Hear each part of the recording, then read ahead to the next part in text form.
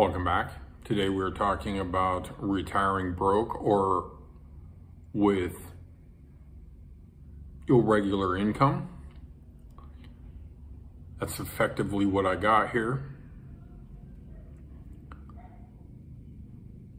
Uh, a comment said I'm probably better off in Asia, which is probably true. I mean, I think I've narrowed it down. The benefit in the United States probably be I'd be able to go down the street and get a job working the McDonald's drive-through, or if I happen to drop dead, an ambulance would come scoop me up and take me to the hospital those are the probably the two things that I'm uh, missing out on. Probably the most difficult thing here in Asia is making sure that I have the money to cover the visas. Sometimes monthly, sometimes six months, somewhere in there, but uh, it's probably the biggest thing. Next biggest thing might be the food expenses. Where I'm at currently, um, I'm able to cook food. That is a pretty good benefit. Um, the places I've been in before, I've had to eat out. Uh, not overly expensive. I mean, Thailand, you can pretty much eat for, I don't know, $1.50, $2 if you're eating Thai food, I mean, no pizza, no uh, foreigner food, which is good. That's that's totally fine with me. I love Thai food. Mangoes, uh, 15, 20 cents. Bananas, I mean, all that stuff's uh, incredibly cheap. Oatmeal, But uh, I mean, if you're going to come over and eat foreigner food, this expense could probably be higher than the rent you pay. Uh, the rent is reasonable. Um, it goes up and down. I would say in general, uh, this expense fluctuates from country to country, but maybe not more than maybe 10 or 15 percent if you really want to live cheap, um, you can go without AC. That's when the price goes way, way, way down.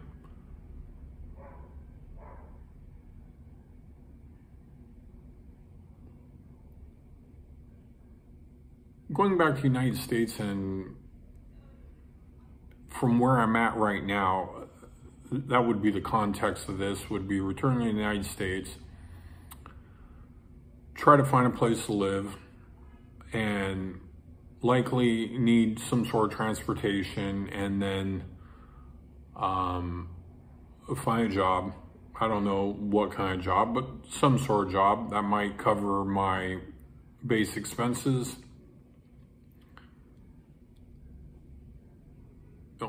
I'd probably have to go in debt for that.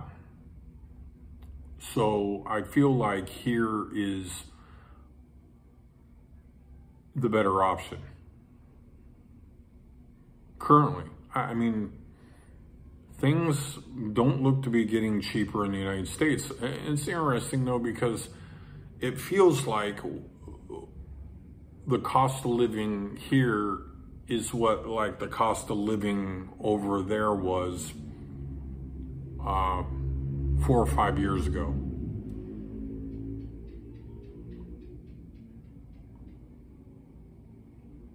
I think you're better off being um, in Asia and, and broke. I, I don't feel like there's much of a risk. We might find out how risky it is. I mean, probably the biggest risk, and, and this is interesting because uh, this is a second-hand story, but uh, I know of an American that moved over here like 12 years ago, let his passport expire, um, and has basically just existed in the Philippines, not even went into immigration, not recommending any of this, but uh, went into immigration, told them the dealio, went into the uh, embassy, was able to get his passport and um, maybe the fees and everything were um, minimal, maybe even cheaper than what it would cost for all the visas. Uh, it seemed like, again, this is a secondhand story. Uh, the story is credible, but uh, still uh, very interesting. I don't know what would happen if I couldn't afford the visas. Certainly thought about that. I mean, I thought the guy would be detained and deported, but uh, no, I was wrong about that. It is about seven o'clock at night. I have to work shortly my income goes up and down a lot.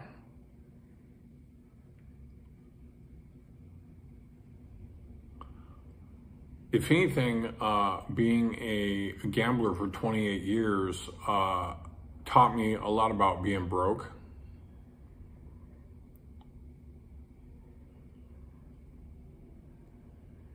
I've had to educate myself a lot to try to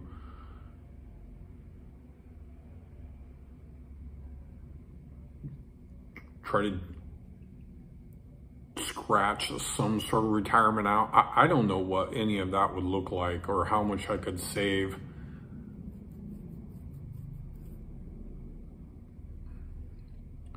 Currently, the project I'm working on is um, lowering my credit card debt. I got lots of airline tickets and hotels. Got lots of points as uh, the interest and stuff is is enough to allow me another month or two to of expenses. I mean,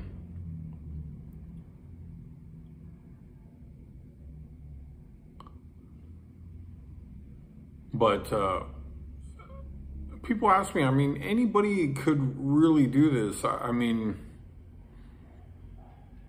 it's a lot like uh, taking your money into a casino. I mean, it's exciting.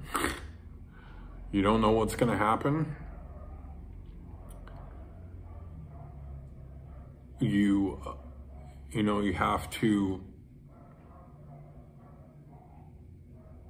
constantly evaluate. You go to the ATM a lot to take out more money.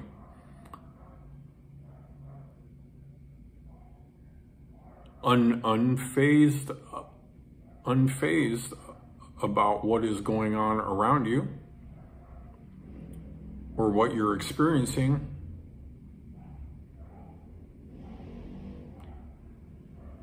And, and, and, you know, people who comment, well, I seem negative. No. I am optimistic for sure about my situation.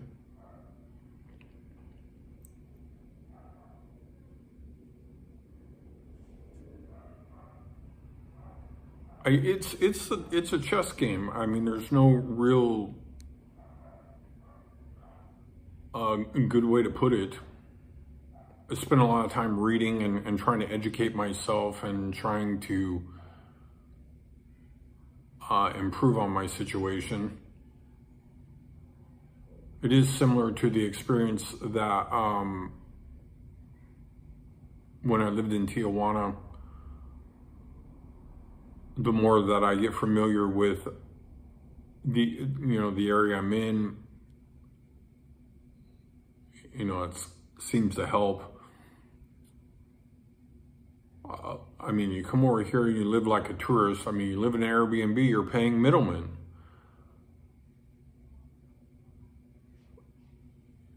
So the longer that you live here and, and stuff like that, I, I mean, you're going to find that eliminating the middleman is going to be a big deal.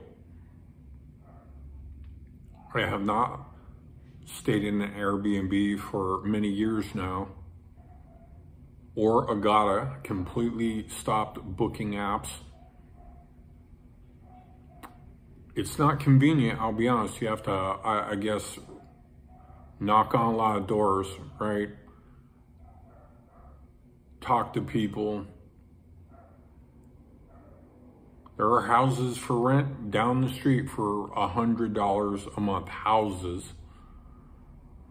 But again, like right now, um, there's no AC and lots of cold plunges.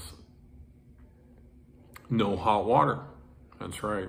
No hot water, which is there, there are times where I would like a nice hot shower. However, nothing beats nice cool water over the head after walking outside. The best weather that I've experienced was, of course, Chiang Mai. But I, I, I haven't experienced uh, that anywhere else maybe a little bit in, in Baguio, but uh, again, most places uh, very warm, 24 7, maybe just high humidity, because sometimes I think it creeps into the 70s, it would be a lot cooler. Where I'm at now is I'm really close to the ocean, so it seems like you get some cooler breezes, but still very warm. about 30 days here till Christmas, five weeks till uh, New Year's. I uh, am had a resolution trying to lower my credit card debt. Um, it hasn't gone down, but it has um, at least uh, not gone up a ton.